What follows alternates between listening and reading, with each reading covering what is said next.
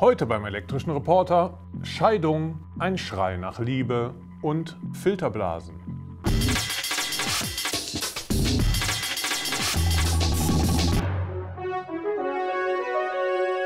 Elektrischer Reporter. Ich habe Sie erwartet. Kennenlernplattformen, Flirt-Communities und Apps zur Verabredung für den schnellen Sex. Das Netz steckt voller Angebote, die das Kennenlernen zweier Menschen zum Ziel haben. Relativ neu sind hingegen Dienstleistungen für Menschen, die nicht mehr miteinander leben wollen. Um Scheidungen über das Netz, darum geht es in unserem ersten Beitrag. Der Gerichtssaal der Zukunft steht die meiste Zeit leer. Denn Kläger und Beklagte müssen sich dann nicht mehr vor dem Kadi einfinden, sondern erledigen ihren Rechtsstreit von zu Hause. Online. An dieser Vision arbeitet jedenfalls Jinho Verdonskot aus dem niederländischen Den Haag. Und die erste Hürde auf dem Weg in diese Zukunft hat er bereits genommen. Mit Rechtweiser. Einem von ihm mitentwickeltem Software-Tool, mit dem Menschen in den Niederlanden sich scheiden lassen können über das Internet und vollrechtskräftig. Die Idee zu Rechtweiser kommt Verdonskot bei seiner eigenen Trennung, die seine Ex-Frau und er möglichst unkompliziert hinter sich bringen wollen. Wir haben festgestellt, dass es für Menschen in unserer Situation keine passende Unterstützung gab. Wir wären sehr wohl in der Lage gewesen, diese Sache selbstständig zu erledigen, aber es gab keine Abläufe oder Hilfestellungen, die uns bei unserer Trennung hätten helfen können. Mit Rechtweiser gibt es jetzt einen solchen Ablauf. Wie in einem Online-Chat schreiben die Noch-Ehepartner dort gemeinsam an ihrer Trennungsvereinbarung. Rechtweiser skizziert Modelllösungen und überträgt die Vereinbarungen in einen juristisch wasserdichten Trennungsplan. Sollte es auf dem Weg zu diesem Trennungsplan Streit geben, können beide Seiten jederzeit einen Mediator hinzuziehen. Der Richter muss diesen Trennungsplan nur noch absegnen. Eine Vorgehensweise, die viel Geld spart und Nerven. Wenn man eine solche Technologie anbietet, dann stellt man den Eheleuten auch eine zusätzliche neutrale Instanz zur Verfügung. Und das ist wirklich hilfreich. Es macht die Interaktion zwischen den Parteien leichter. Denn wenn beide Seiten objektive Kriterien zur Verfügung gestellt bekommen, dann erleichtert das natürlich, ein faires Ergebnis zu erzielen. Sandra Nüpels ist eine der ersten, die sich tatsächlich über Rechtweise hat scheiden lassen. Gemeinsam mit ihrem damaligen Mann geht sie alle Punkte ihrer Trennungsvereinbarung durch. Haus, Sorgerecht und finanzielle Fragen. Zusammen am Computer im damaligen noch gemeinsamen Haus. Eine leicht bizarre Situation, erinnert sie sich heute. Ja, das klopt inderdaad. We hebben ieder met een eigen laptop. Uh, wir saßen hier im Wohnzimmer, jeder hatte seinen eigenen Laptop auf dem Schoß und zur gleichen Zeit sind wir dann das Programm durchgegangen. Das war manchmal etwas seltsam. Zum Beispiel, wenn wir gemerkt haben, dass wir genau im selben Moment etwas eingetippt oder korrigiert haben. Das war eigentlich sogar komisch. Über das Netz hat sich Nüpels den Gerichtssaal in ihr Wohnzimmer geholt. Und so eine Scheidung erreicht, mit der sowohl sie als auch ihr Mann gut leben kann. Auch die meisten anderen User sind zufrieden, berichten die Macher von Rechtweiser. Weitere Länder arbeiten bereits an der Einführung des niederländischen Scheidungstools, zum Beispiel Großbritannien. Denn Digitalisierung ist ein Megatrend in Rechtssystemen auf aller Welt. Deutschland gehört hier zwar nicht gerade zu den Pionieren, berichtet der Rechtswissenschaftler Matthias Weller aus Wiesbaden. Aber auch der Experte für elektronischen Rechtsverkehr ist überzeugt. Die Digitalisierung des Justizwesens bietet auch hierzulande enorme Chancen. Zum Beispiel hinsichtlich der Geschwindigkeit von Verfahren.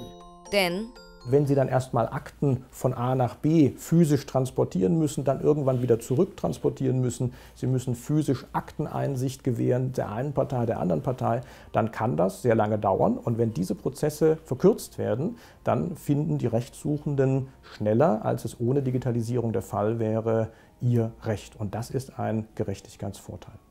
Aber auch wenn Weller der Digitalisierung prinzipiell positiv gesonnen ist, sieht er das Rechtweiser-Tool aus den Niederlanden durchaus kritisch. Denn Mitinitiator von Rechtweiser ist die niederländische Prozesskostenhilfe. Deren Ziel ist es natürlich, Kosten zu sparen. Und Prozesskostenhilfe brauchen in erster Linie ärmere Menschen. Glaube, wir müssen schon aufpassen vor, um es mal überspitzt auszudrücken, einer Zweiklassenjustiz, nämlich einer, die das volle Programm liefert für Leute, die es bezahlen können und anderen, die auf, naja, eben online gestützte Substitute verwiesen werden.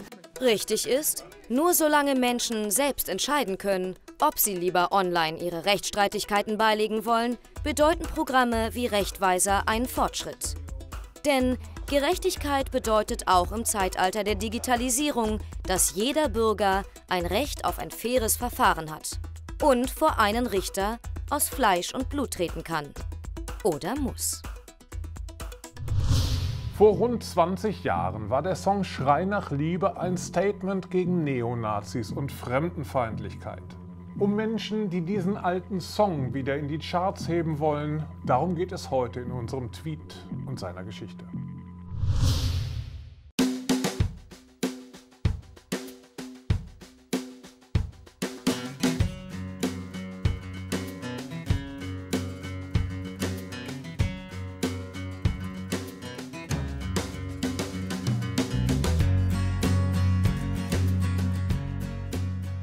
Gerhard Torres, ich bin Musikschullehrer hier in Osnabrück und ich habe mit zwei Freunden zusammen die Aktion Arschloch ins Leben gerufen. Die Aktion Arschloch ist äh, eine Reaktion auf rechte Gewalt und hat zum Ziel, den Song Schrei nach Liebe wieder in die Charts zu bringen.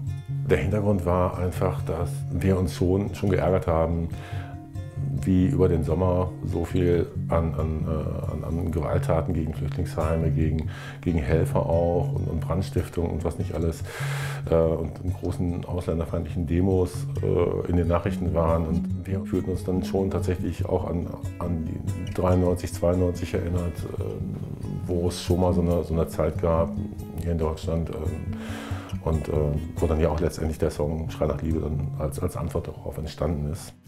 Der Tweet entstand am Sonntag, 30. oder 31. August, als Startpunkt auf Twitter für die Aktion. Ich habe eine Mail an, an die Welt geschickt, an die Ärzte. Und dann kam so indirekt später nach ein paar Tagen die Meldung auf der Homepage, dass sie es begrüßen. Ohne soziale Medien hätte das Ganze in der Form nicht funktioniert, zumindest nicht so schnell. Das Ganze war komplett spontan und ungeplant.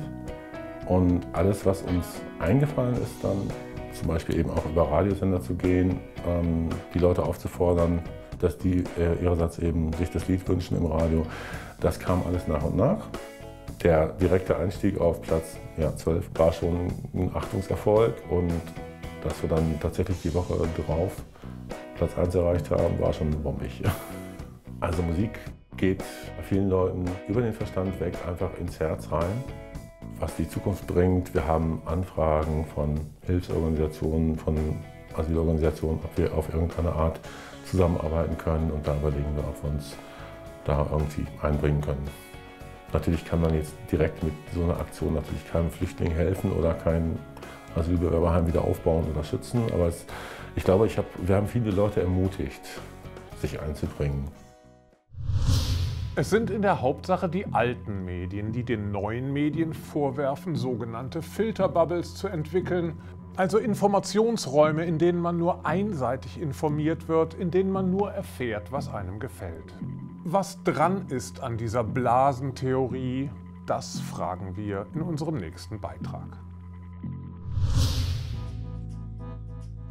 Wer wissen will, was in der Welt geschieht, verlässt sich immer öfter auf das Internet. Facebook, Google und YouTube ersetzen für viele Menschen schon längst TV-Nachrichten und Tageszeitungen. Doch nur wenige ahnen, welche Nachrichten ich dort finde, das bestimme ich nicht selbst, sondern die Betreiber der sozialen Netzwerke und Suchmaschinen. Denn deren Seiten sind so programmiert, dass vor allem solche Nachrichten angezeigt werden, die zu den eigenen Vorlieben passen. Die Informationen werden gefiltert. Die Podcasterin Nele Heise erforscht, wie diese Filter funktionieren und so unsere Sicht auf die Welt beeinflussen. Ihr Ziel? Wir müssen mehr über die Abläufe wissen, ähm, über die Prozesse allgemeiner, nicht so im technischen Detail und natürlich auch über die Akteure, die da involviert sind. Denn diese Filterprozesse sind problematisch. Sie sorgen dafür, dass alle nur einen Ausschnitt des Internets sehen. Inhalte, die die User oder ihre Freunde gut finden, damit sich alle in ihrer individuellen Filterblase auch wohlfühlen. Eben wie unter guten Freunden, wo alle dieselbe Meinung haben. Die Gefahr? Ohne unpassende, konträre Meinungen keine Debatte. Und kein Dazulernen. Filterblasen führen vielleicht dazu, dass wir alle nur noch in kleinen isolierten Öffentlichkeiten uns befinden, ähm, uns äh, es wenig gemeinsame Grundlage für öffentlichen Diskurs beispielsweise gibt. Und wenn ich, die, ähm, wenn ich nur noch auf bestimmten Plattformen mich informiere, habe ich möglicherweise eben eine verzerrte Vorstellung davon, ähm, was in der Welt vor sich geht. So berechtigt solche Warnungen vor den digitalen Scheuklappen auch sein mögen, für den Internetunternehmer Christoph Kappes zielt die Kritik an den Filterblasen in eine falsche Richtung. Er verteidigt die Bedeutung und den Nutzen von Filterprozessen in den Medien. Er sieht in der Debatte um die Filterblasentheorie ein grundsätzliches Problem ausgeblendet, dass wir unmöglich das komplette Netz lesen können. Die Informationsmengen verdoppeln sich ständig. Dadurch gibt es eine Notwendigkeit, dass man eben eine Informationsselektion macht. Ich glaube auch, dass das ähm, im Verhältnis zu klassischen Medien eigentlich ein normaler Vorgang ist, weil klassische Medien an vielen Stellen Selektionsvorgänge machen, die sie nicht transparent machen. Und richtig, auch Offline-Medien arbeiten mit Filtern. Zeitungen und Verlage bestimmen, was wir lesen, Plattenfirmen, was wir hören. Neu ist, Facebook und Co sind die Gatekeeper der digitalen Ära und vielleicht viel mächtiger, als es Verlage je waren. Und sie sind schwerer zu durchschauen, zu kontrollieren oder wenigstens zu verstehen als die Bildzeitung. Die gute Nachricht, die Interessen der Menschen sind heute vielfältiger als je zuvor. Genau wie das Angebot an Informationen im Netz, weiß die Kommunikationswissenschaftlerin Saskia Sell. Und durch das Internet hat man eben die Möglichkeit, sehr schnell sehr einfach und auch sehr günstig noch an, an eine Vielzahl von Informationen zu kommen. Es ist eben, man muss es wollen. Ich glaube, das ist relativ wichtig. Die eigene Filterblase zu sprengen oder zumindest anzupieksen, die eigene Sicht auf die Welt möglichst offen zu halten, diese Verantwortung trägt also jeder selbst. Im Internet findet man alle Informationen, wenn man danach sucht. Man kann die Suchmaschine wechseln oder die Facebook-Seiten von Menschen besuchen, deren Meinung man nicht teilt und so offen bleiben für Neues. So wie auch Nele Heise. Sie pickt sich aus unterschiedlichsten Quellen einzelne Inhalte heraus und erstellt daraus ihr eigenes Programm. Sie weiß, für eine fundierte Meinung braucht man möglichst viele Informationen. Und manchmal sind es gerade die Argumente der Gegenseite, die die eigenen Ideen erst ins Rollen bringen. Viele Leute haben, glaube ich, diese Haltung, ich kann mir selber mein Programm zusammenstellen, noch gar nicht so verinnerlicht. Podcasts, da ist das ja ganz, äh, ganz klar der Fall. Also das, äh, da werden häufig Nischeninteressen bedient ähm, und äh, da baut man sich seine Hörerschaften auf. Filterprozesse gibt es überall, offline wie online. Wer ausschließlich Facebook oder Google News nutzt, erhält auf sein Profil zugeschnittene Informationen. Das sollte jeder Internet-User wissen. Aber das Internet ist kein eingezäunter Raum. Nie gab es mehr Nischenangebote als heute. Und vor allem besteht das Internet nicht nur aus Filterblasen. Es liefert die passenden Werkzeuge, um diese Filterblase zum Platzen zu bringen, gleich mit.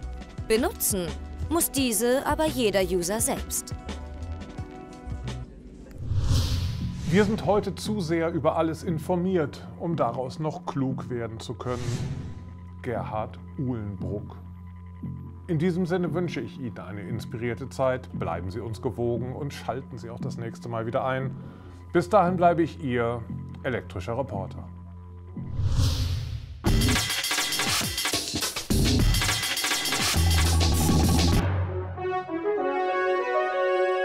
Elektrischer Reporter.